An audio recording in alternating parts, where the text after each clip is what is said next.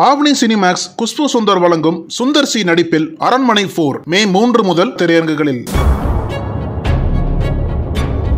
ஒரு குடும்பமே காலி ஆயிடுச்சே நள்ளிரவில் கதறிய கிராமம்.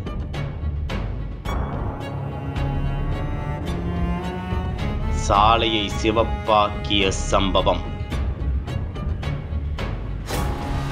சிறுமியை கூட விட்டு வைக்காத கோரம். கோவை மாவட்டம் இலுப்பநத்தம் அருகே அமைந்துள்ளது சிறுமுகை ஜடயம்பாளையம். இப்பகுதியைச் சேர்ந்தவர் முருகன் முப்பத்தி இரண்டு வயது மதிக்கத்தக்க இவர் கொசுவலை வியாபாரியாக இருந்தார். இவரது மனைவி ரஞ்சிதா இந்த தம்பதிக்கு எட்டு வயதுடைய அபிஷேக் என்ற மகனும் ஏழு வயதுடைய நிதிஷா என்ற மகளும் உள்ளனர். இந்த நிலையில் முருகன் குடும்பத்துடன் கரூர் சென்றுள்ளார். அதன் பிறகு காரில் குடும்பத்துடன் சொந்த ஊரான சிறுமுகைக்கு இரவு நேரத்தில் திரும்பியுள்ளார். நள்ளிரவு பயணம் என்பதால் முருகனே காரை ஓட்டிக் கொண்டு வந்துள்ளார். அப்போது கார் சத்தியமங்கலம் கடந்து சென்றுள்ளது. அதே சமயம் எதிரே பவானி சாகரில் இருந்து சத்தியமங்கலம் நோக்கி மற்றொரு கார் வந்துள்ளது. அதில் கல்லூரி மாணவர்கள் பயணித்து வந்துள்ளனர். சரியாக நெசவாளர் காலனி என்ற இடத்தில் இரண்டு காரும் வந்த பொழுது திடீரென இரண்டும் நேருக்கு நேர் மோதியுள்ளது. இந்த விபத்தில் இரண்டு காரும் பலத்த சேதம் அடைந்துள்ளது எதிர்பாராத நேரத்தில் நடந்த கோர விபத்தின் சத்தம் கேட்டு விபத்து நடந்த பகுதியில் உள்ள கிராமத்தினர் ஓடி வந்து பார்த்துள்ளனர்.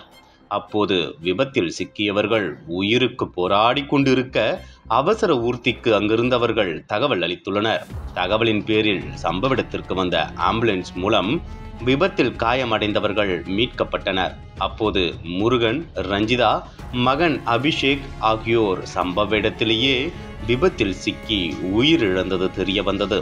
ஆனால் அதே காரில் பயணித்த நிதிஷா என்ற சிறுமி மட்டும் உயிருக்கு போராடி கொண்டு இருக்கையில் அவசர ஊர்த்தியின் மூலம் அவர் சத்தியமங்கலம் அரசு மருத்துவமனைக்கு விரைந்து கொண்டு செல்லப்பட்டார்.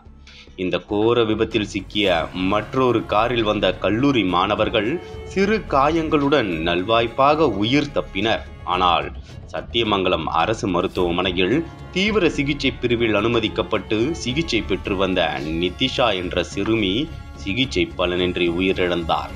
சிறுமியின் உடல் சிகிச்சைக்கு ஒத்துழைப்பு வழங்கவில்லை என மருத்துவர்கள் தகவல் தெரிவித்தனர். இதனிடையே சம்பவ இடத்திற்கு வந்த பவானி சாகர் போலீசார் விபத்தில் சிக்கிய காரை அப்புறப்படுத்தினர். தொடர்ந்து விபத்து குறித்து வழக்கு பதிவு செய்த போலீசார் விபத்து நடந்த காரணம் குறித்து விசாரணை செய்து வருகின்றனர். விரிவான விசாரணைக்கு பிறகே விபத்து எதனால் நடைபெற்றது என்பது தெரியவரும் என போலீசார் தகவல் தெரிவித்துள்ளனர். கார் விபத்தில் ஒரே குடும்பத்தைச் சேர்ந்த நான்கு பேர் உயிரிழந்த சம்பவம் சோகத்தை ஏற்படுத்தியுள்ளது. இதனிடையே விபத்தை நேரில் பார்த்த கிராம மக்கள் சிலர் பேசுகையில் பலத்த சத்தம் சாலையில வழக்கத்திற்கு மாறாக கேட்டது. ஓடி சென்று பார்த்தோம் அப்போது விபத்தில் கார் முழுவதும் நொறுங்கி கிடந்தது. உடனே அவசர ஊர்த்தியை அழைச்சி மீட்பு பணியில் ஈடுபட்டோம். ஆனால் சம்பவ இடத்திலேயே மூணு பேர் உயிரிழந்து விட்டனர். ஆபத்தான நிலையில் அனுமதிக்கப்பட்ட சிறுமியும் உயிர் இழந்து விட்டதாக தகவல் வெளியாகியிருக்கு. மிகவும் கோரமான விபத்து இது என நடந்த விபத்து குறித்து பேசினர். இதையடுத்து விபத்தில் சிக்கி உயிர் இழந்த ஒரே குடும்பத்தைச் சேர்ந்த நான்கு பேரின் உடல்கள் பிரேத பரிசோதனைக்கு பிறகு உறவினர்களிடம் ஒப்படைக்க இருக்கிறது. இந்த சம்பவம் கோவையில் அதிர்ச்சியை ஏற்படுத்தியுள்ளது.